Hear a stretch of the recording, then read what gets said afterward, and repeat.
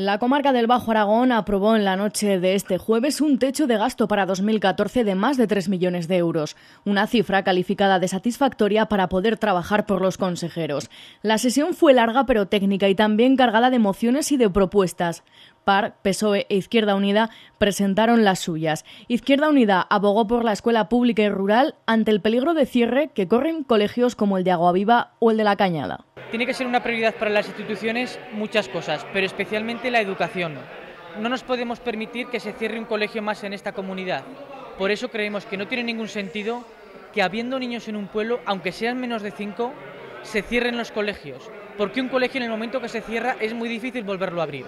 El Grupo Popular se abstuvo por considerar que la Consejería de Educación está haciendo lo posible para optar por las mejores opciones. La moción de la escuela rural, la verdad es que lo, más pena o lo que peor es que los niños, pues cada vez hay menos en, en las escuelas y esto va a una despoblación poco a poco a los pueblos. Sí que es verdad que la consejera pues bueno, va revisando caso a caso y esperemos que esto acabe de la mejor manera posible porque no está acabado. La moción de los socialistas se retiró porque iba encaminada a pedir la retirada de la ley del aborto, pero el asunto ya se debatió en el Congreso. En cuanto a educación, Pedro Luis Lamiel habló también del cierre de los pueblos. Si lo que quieren es que nos vayamos todos a Zaragoza, que nos lo digan de una vez pero díganlo ustedes claro, cualquier barrio de los que hay tantos pisos vacíos nos vamos allí y ya está, si es un tema económico.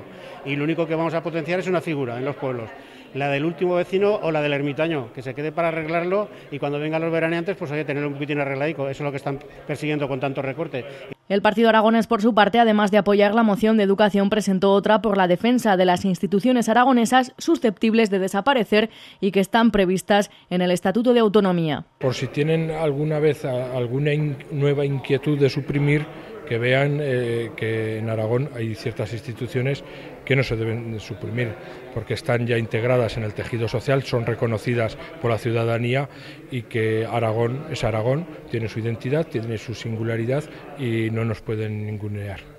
El resto de la sesión fue mera rutina con la aprobación de cambios en los cargos de algunos consejeros.